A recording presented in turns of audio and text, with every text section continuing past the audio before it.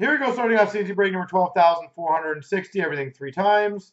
Here's all the items. One, two, three. Copy. Paste.